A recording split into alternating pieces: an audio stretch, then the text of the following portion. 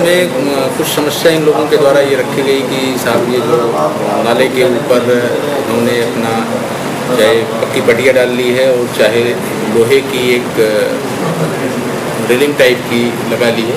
इन लोगों को कहना है कि पहले ये नियत किया गया था कि साहब ये चार इंच सड़क से ऊपर यानी नाले से ऊपर चार इंच का ये लोग लगा लेंगे जिससे सफ़ाई करते वक्त सफ़ाई हो जाए। लेकिन ये देखने में आया कि कहीं चार इंच से ज़्यादा भी था इन लोगों का कहना उसको माना नहीं गया जो टीम आई उसने सबको हटा दिया।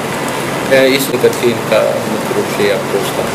और ये यहाँ पे एक मस्जिद है उसके बगल में एक दो दुकानें हैं मेडिकल स्टोर की। उसको हटाते वक्त इन लोगों का कहना है कि साहब वो उसका मशीन का पंजा उसकी सीढ़ी जो सड़क की साइड में है उस पर लग गया था।